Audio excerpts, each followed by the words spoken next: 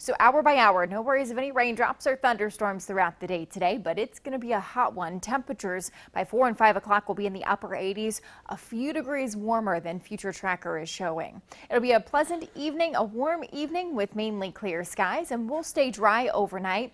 It'll start to turn muggy, especially tonight, and temperatures will only be in the mid 60s tomorrow morning, so a pretty warm start to the day. As early as late morning, scattered showers with an embedded thunderstorm will be a possibility. Into the afternoon and evening, that's when we'll be watching for some stronger thunderstorms. Some gusty wind will be a possibility. Temperatures will be in the upper 80s. It'll be hot and it will be humid. This storm system will move out of here as we head into Thursday night and by Friday we're just left with an isolated thunderstorm chance.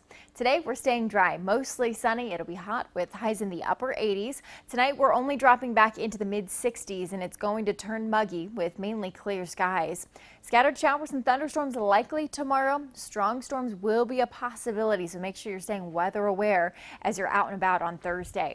Friday just an isolated leftover thunderstorm. It's going to stay hot and muggy with highs in the upper 80s. We jump into the 90s for the weekend, 91 with partly sunny skies. Small chance for an isolated shower or storm on Saturday. Slightly higher chance for seeing some unsettled weather by Sunday. The heat stays with us early next week and so does the thunderstorm chance. Highs will be in the upper 80s to near 90 Monday, Tuesday and Wednesday.